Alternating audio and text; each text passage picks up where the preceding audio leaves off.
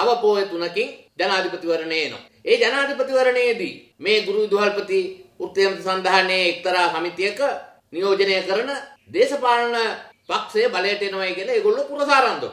ඒ බලයට පත්වීමත් එක්ක ගුරුවරුන්ගේ වැටුප් විසමතා ප්‍රශ්නය නැත්නම් ලැබෙන්නට තියෙන තුනෙන් දෙකක හිඟ මුදල ලබා දෙනවායි කියලා එම පක්ෂය විසින් හෝ එම ගුරු සංගමය විසින් හෝ ගුරු විදුහල්පති වෘත්තීය සන්ධානය විසින් හෝ ප්‍රකාශයක් කරන්න ඕන. නමුත් ඒගොල්ලෝ අද වෙනකල් ඒ කතාව කියන්නේ එතකොට මේක නිකන් ව්‍යාජ කතාවක්. සති දෙකකට සීමා කරපු අකුරට වැඩ කිරීම වගේ විහිළු වැඩ නොකරන්නේ කියලා අපි ඔවුන්ට කියනවා